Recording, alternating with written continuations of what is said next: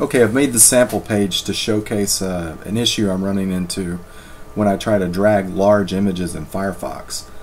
Um, here's an example of a, of, of a div that's draggable.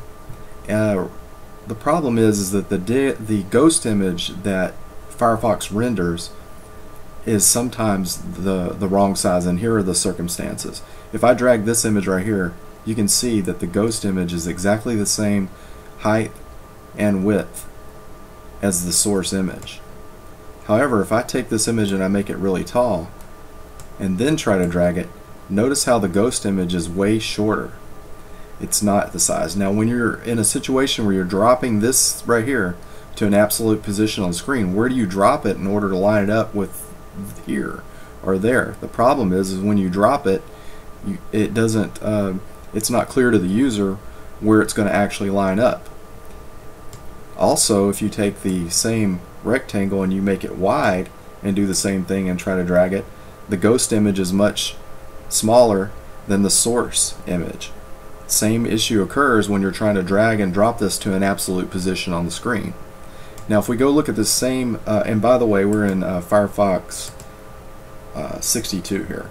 If we go do the, to the same page in Chromium, and um, there's another bug I reported to Chromium about how far, how small their resize thing is at the bottom. Same thing if you drag it same size on this initial small size.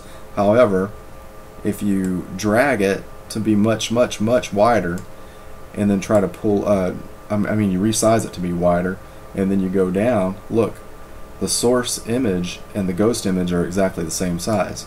Also in Chromium, if we make the image, if I can grab this little bitty thing on this 4K monitor, and we make it tall, and we drag it over to the right, you can see the ghost image is exactly the same size as the source div. And this makes it really easy when you're actually dropping it to an absolute position on the screen because it when you drop it, it will be exactly the way the, the ghost image renders uh, at that position.